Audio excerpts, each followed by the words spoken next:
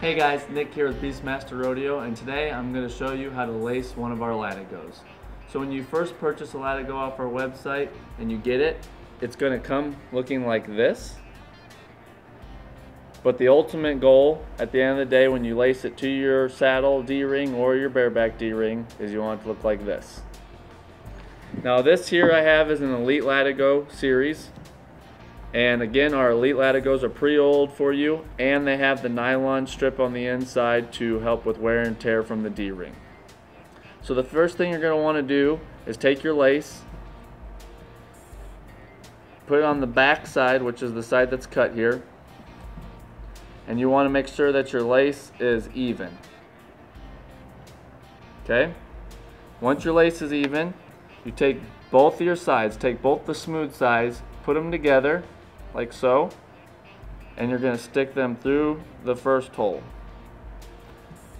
Now the holes are, are a little uh, smaller because we want them to be tight so the lace doesn't go back through.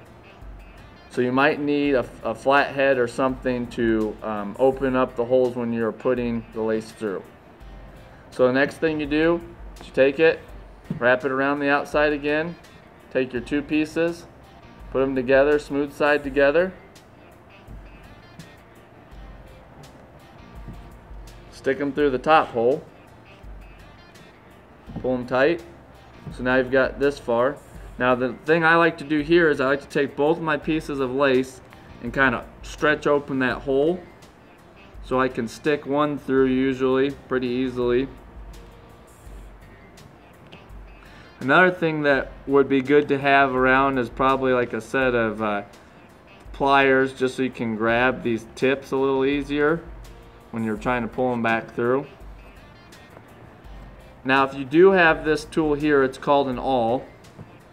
And it's got a little groove in here so you can stick the lace through.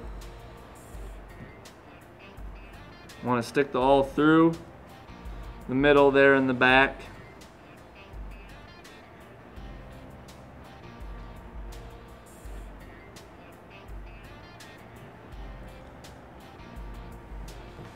And then you want to give it a good little pull.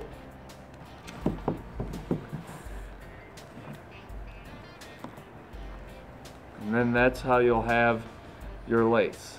Now, you don't have to do the second step. We suggest it because it definitely gives a lot more strength to the latigo. You could have just finished off with this one here and go right through. That'll work fine as well, but at the end of the day, we do suggest you go through the second time at the top. It's going to be a little bit tight at first, but the reason again why it's tight and a little difficult is so that you, um, so the lace doesn't come back through.